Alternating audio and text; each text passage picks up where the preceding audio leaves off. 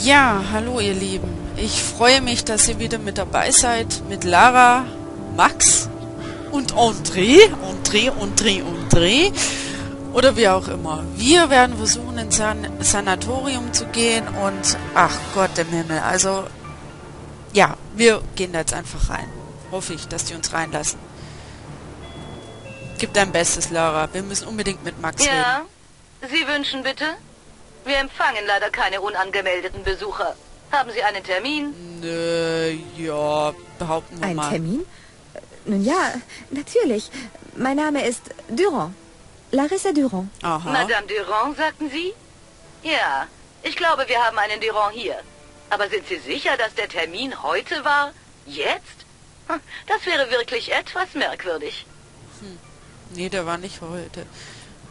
Nein, es war nicht genau jetzt, aber ich bin den ganzen Weg von Frankreich hierher geflogen und meine Maschine hatte Verspätung. Können Sie denn keine Ausnahme machen? Ich bin durch halb Europa gereist. Naja, wenn einer der Ärzte nach Ihnen geschickt hat und Sie den ganzen Weg hierher gekommen sind.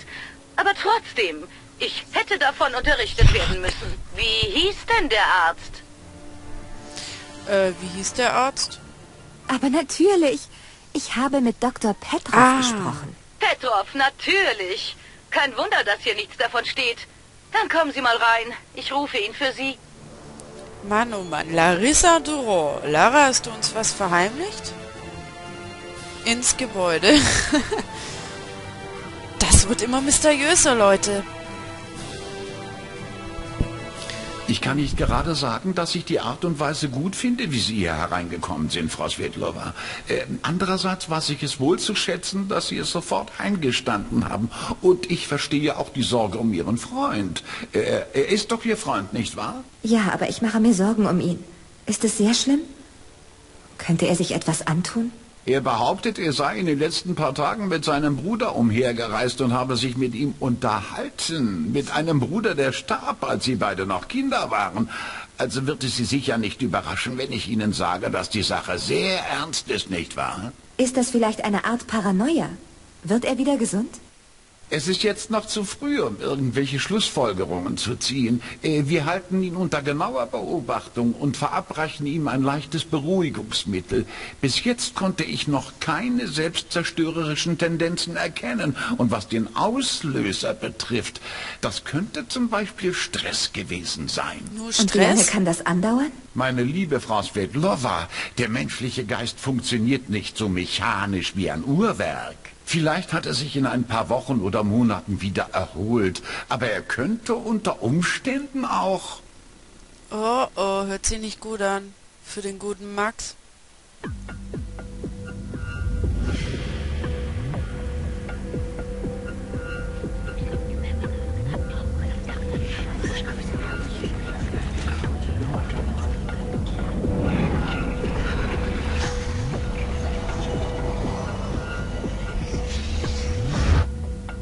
Hm. André, Du?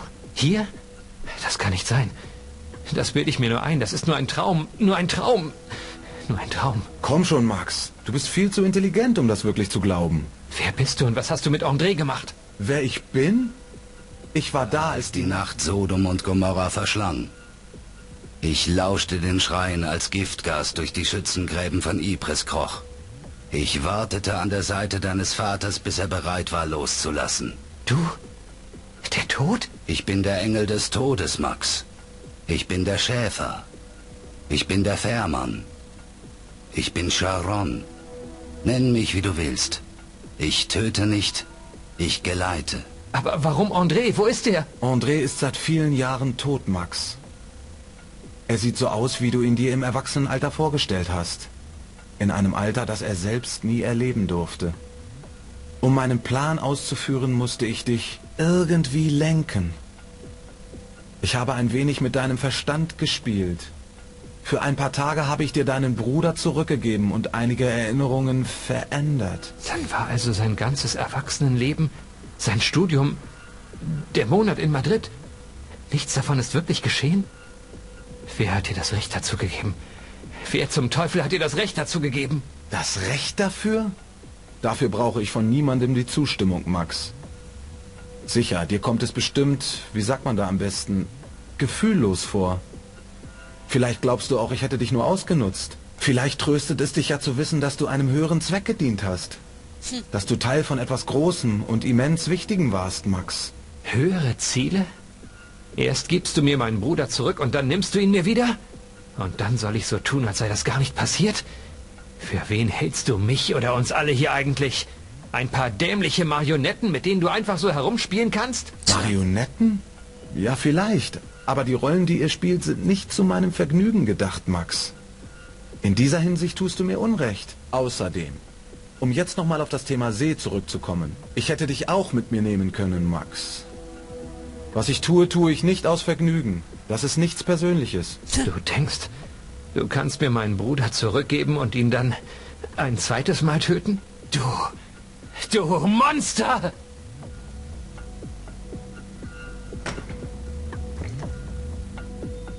Was war das? Ja, was war das? Was war das für ein Krach?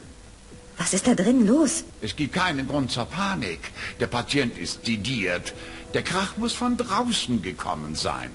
Tch, Glauben wird's auch noch, hä? Junger, junger Vater, das sind krasse Warum sollte ich Scheiß. das tun? Das würde dem Doktor bestimmt nicht gefallen. Na, ist mir scheißegal, was dem Doktor gefällt. Hm, die ist bestimmt für den Fall gedacht, dass es hier brennt oder eine Tür blockiert ist oder so. Ja, oder so. Da ist das Zimmer von Max.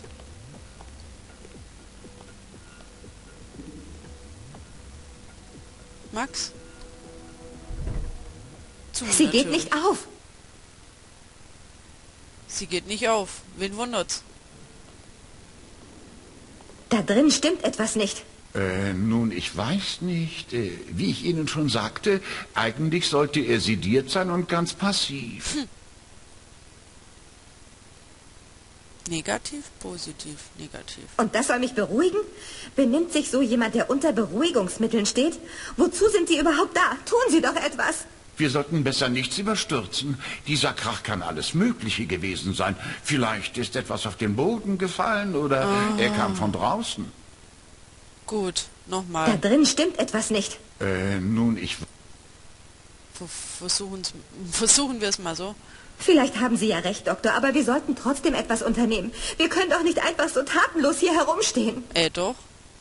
Ah, er macht was. Und? Manchmal muss man auch freundlich Sie ist sein. abgeschlossen. Also das ist wirklich merkwürdig. In diesem Teil des Gebäudes ist es den Angestellten verboten, die Türen abzuschließen. Dann tu was. Der bleibt hier rumstehen. Ich glaub's ja nicht. Sie müssen doch sehen, dass hier irgendetwas vor sich geht. Schreiten Sie endlich ein. Nun, ich, äh, wie ich schon sagte, durch die Sedative sollte er eigentlich ganz ruhig sein. Äh, machen Sie sich keine Gedanken. Er ist aber nicht ruhig. Sie müssen etwas tun, Doktor. Wir können ihn doch nicht einfach da drin lassen.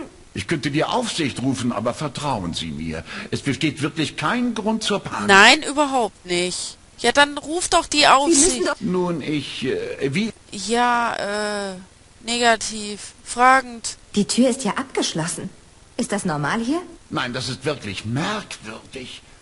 Ja, man kann sie abschließen, aber das ist eigentlich gar nicht notwendig. Die Türen lassen sich von innen nicht öffnen, also schließen wir sie auch nicht ab. Ach Gott, dann tu doch etwas. Komm, wir nehmen jetzt die Axt. Wenn der nichts tut. Warum sollte ich das tun? Ah, Ist mir scheißegal, was dem Doktor gefällt. Siehst doch, der hat sie nicht mehr alle. Sie müssen doch... Nun, Äh, freundlich?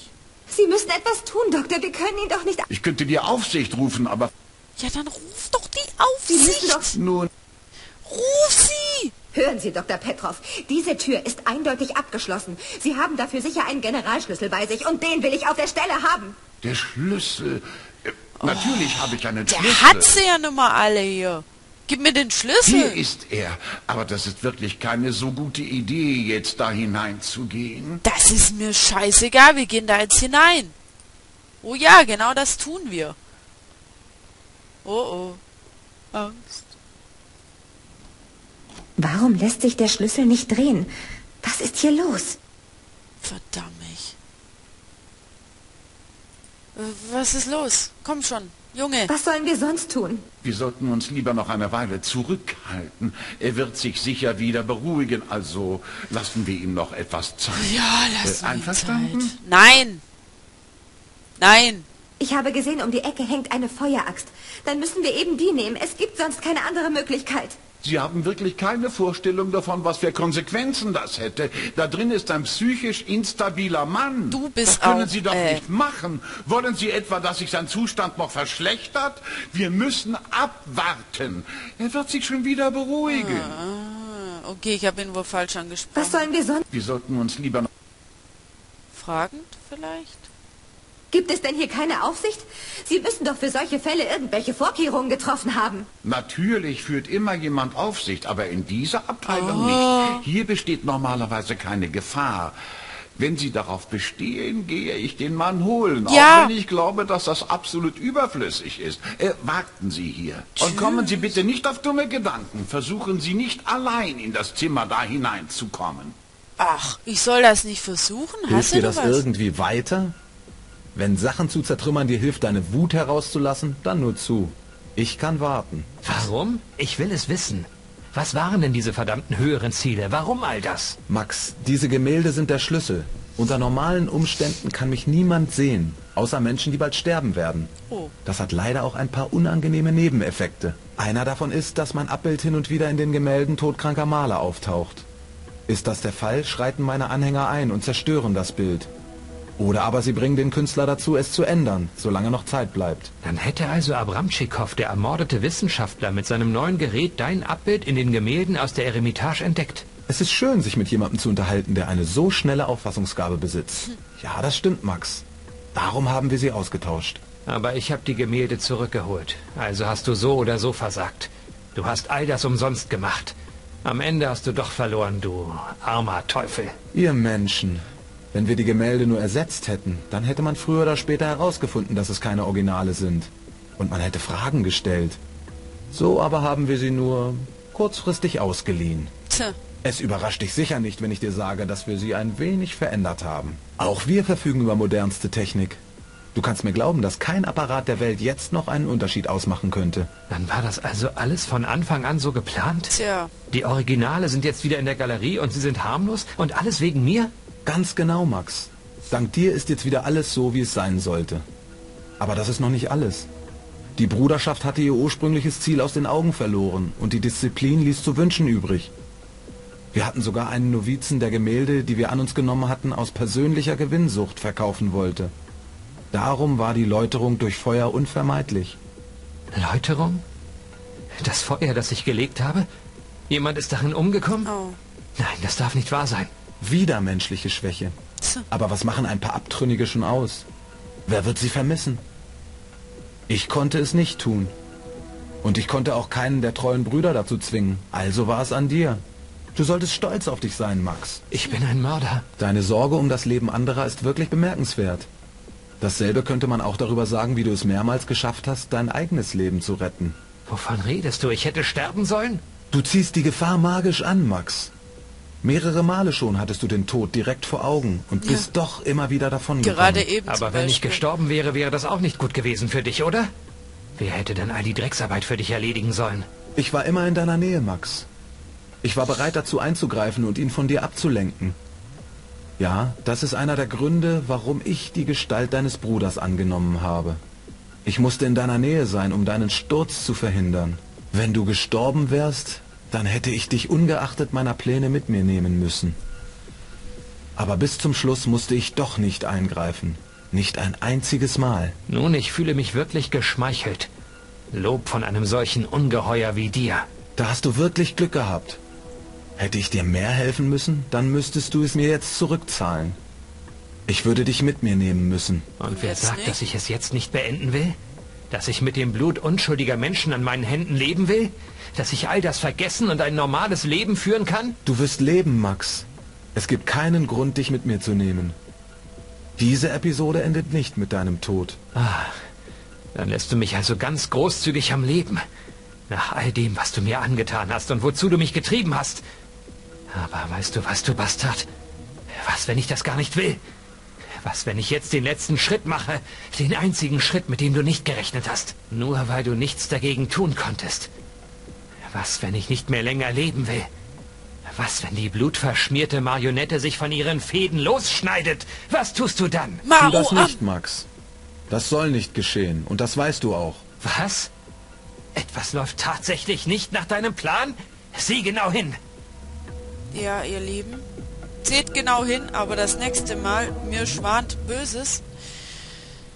Das war jetzt harter Tobak. Ich weiß, das müssen wir jetzt wohl alle erstmal verdauen. Ich trinke einen Kaffee und genau, fasse mir an den Kopf.